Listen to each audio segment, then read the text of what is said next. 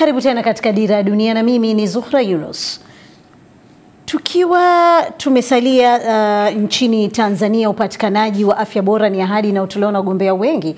Katika kipindi cha miaka mitano iliyopita, bajeti ya afya imeongezeka hadi dola milioni 116 mwaka 2020 huku miundombinu ikiwa imeimarishwa zaidi vijijini. Mwandishi wetu Tulanana Bohela ana maelezo zaidi. Ni siku ya ukaguzi wa afya kwa wenyeji hawa wakiwa katika kituo cha afya cha Kabuku kilichopo umbali wa kilomita 200 nje ya jiji la Dar es Salaam mkoani Tanga. Katika wodi ya kina mama, Halima Mustafa na akina mama wenzake wanasubiri kujifungua. Mtoto mtarajiwa atakuwa mtoto wake wa tatu, lakini kipindi hichi ni tofauti na nyakati nyingine. Anakumbuka alivyokuwa akilazimika kusafiri kilomita 80 hadi Korogwe kupata matibabu. Uzoefu wa mtoto wa kwanza, nilibeba mimba vizuri, nikaanza kuumwa huko Chanikakofi, maeneo ya Mzundu huko. E, sasa nilivyokuja hapa kwa vitendea kazi lilikuwa bado kwa hapa Kabuku havijaongezeka sana, e, bado haijaboreshwa ile huduma ya sana. Tulivyokuja hapa kapatwa na ugonjwa wa kifafa, ikabidi wakaushindwa, kaenda Korogwe. E, mtoto wa pili nienda jitizamia Korogwe tu kwa, kwa ndugu zangu e, nikajifungulia huko huko.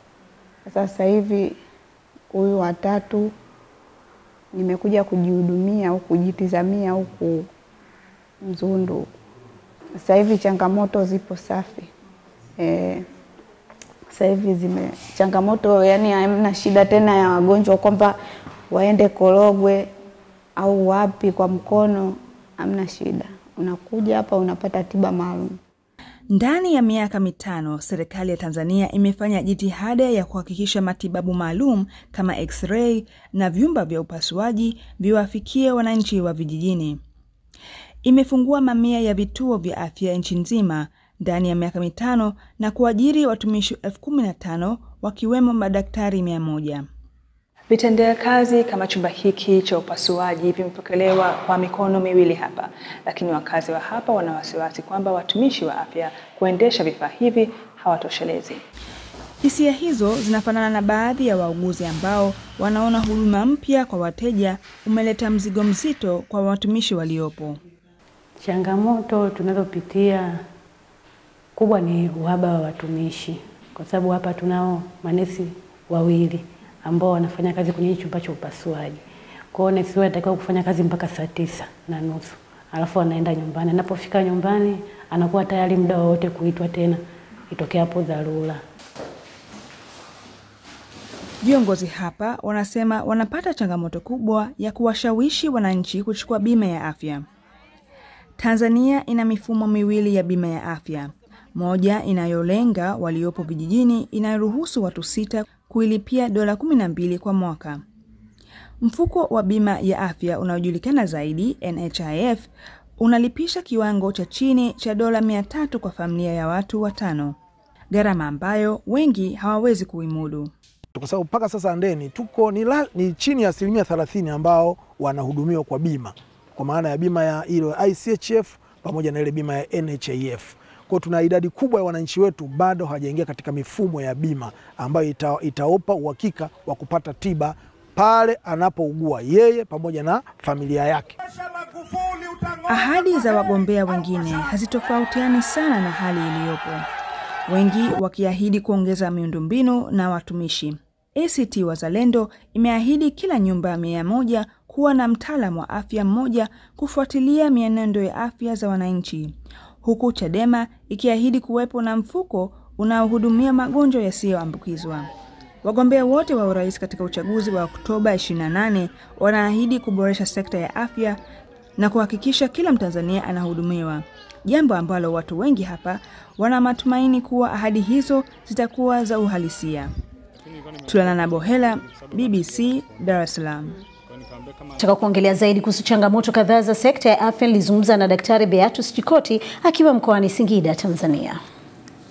Kwa, kwa wastani kwa nchi nzima unakuta upungufu wa wataalamu wa afya labda ni karibu asilimia hamsini, na hii sasa inafanya pamoja na kuwepo kwa miundombinu mizuri, lakini unapokosekana watumishi, maana yake wa, wa, wa, kwa mfano labda mgonjwa mtumishi mmoja anatakiwa ahudumie wagonjwa kadhaa, labda nesi mmoja, muuguzi atakiwa ahudumishe wagonjwa labda arobaini, lakini unakuta muuguzi mmoja ana wagonjwa kama themanini. Ni wazi kwamba ile huduma ambayo atakakuwa anaitoa itakuwa haikidhi vile vigezo vya utoaji wa huduma ya afya kwa wagonjwa, na hilo ni tatizo ambalo lipo na bila shaka ni changamoto ambayo inatakiwa kufanyiwa kazi ili kufikia ubora. Kwa hiyo Dr. Beatus ni kwamba uh, daktari au muuguzi mmoja anazidiwa na idadi ya wagonjwa au yeye mwenyewe hana uwezo vizuri wa kuhudumia wagonjwa? Yote mawili tunaweza kusema yanakuwepo. La kwanza kwamba mtaalamu anaweza ana, anakuwa anazidiwa na idadi ya wagonjwa, kwamba e, ile idadi ambayo anapaswa kuihudumia inakuwa ni zaidi ya ile ambayo anapaswa kuhudumia.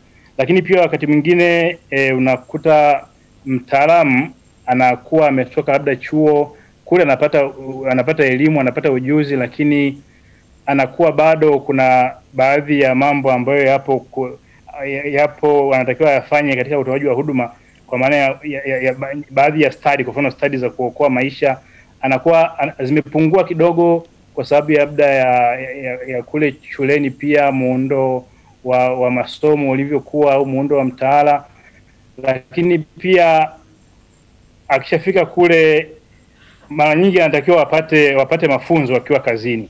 Kwa hiyo kama atakuwa hajapata mafunzo mengine akiwa kazini, wakati mwingine anakosa baadhi ya stadi Tu- Tuzungumzie kidogo swala la, la, la, la vifaa e, dawa na maswala labda kama x-ray. E, sijui hilo unalitathmini vipi? kwa kiasi kikubwa bajeti imeongezeka, japo kwenye upatikanaji wakati mwingine inaweza kuwa na changamoto, labda baadhi ya na, aina fulani za dawa zinaweza zikawa zinakosekana ambazo zinatakiwa zipatikane eh, kwa muda fulani la, lakini pia kuna baadhi ya dawa ambazo zinatolewa labda na hizi zinaita vertical programs zinatolewa na wafadhili wa, wa, wa au wadau wa maendeleo. Ah, wakati mwingine pia zinaweza zikawa zina zinachelewa kidogo kupatikana au ku- kufikishwa kwenye vituo vya kutolea huduma za, za afya. Kwa hiyo kumekuwa na mapungufu pia ya hapa na pale ya upatikanaji wa dawa na vifaa tiba kwenye vituo vya kutolea huduma kwa sababu ya changamoto kama hizo ambazo nimeziainisha. Tuangalie bima ya afya, limekuwa likizungumzwa sana, mjadala mkubwa sana kuhusu bima ya afya, lakini unahisi wengine wengi, sio kila mtu anayo bima ya afya. Nini hasa uh, tatizo? Kwa nini sio kila mtu anaweza uh, kuwa na bima ya afya? Kwanza kumekuwa na uelewa uelewa wakati mwingine mdogo wa e, watumiaji wa huduma au wananchi kwa ujumla kwenye dhana ya bima. Kumekuwa na uelewa mdogo kwa maana ya kwamba mtu anaona kate bima wakati labda haumwi na anaona wakati mwingine fedha yake inapotea bure. Lakini pia hasa kuna jamii ambazo pia zimekuwa zimeshapata elimu, zimeelimishwa kuhusu bima, wamekuwa wakikwamishwa wakati mwingine na ule upatikanaji wa huduma au ubora wa huduma. Mwingine anaweza akawa amelipa bima yake. Kwa mfano, kuna huu mfuko wa afya ya jamii CHF ambao ndio unawalenga hasa hasa wa- watumiaji wengi ambao wako vijijini. Sasa wakishakata ile bima, akienda karibuni kwenye vituo vya kutolea huduma za afya, anapata huduma nyingine, lakini anaambiwa labda dawa au dawa fulani au vifaa tiba fulani havipatikani mpaka tena akanunue kwa kutoa pesa yake nyingine taslimu. Kwa hiyo hilo linaweza linakuwa linawakwaza wakati mwingine watu- watumiaji wa huduma kwamba alitarajia akishakuwa ameshakuwa na bima yake apate huduma zote ziweze kulipiwa na ile bima, lakini anapo tena kwenda kuingia gharama nyingine inakuwa ni shida.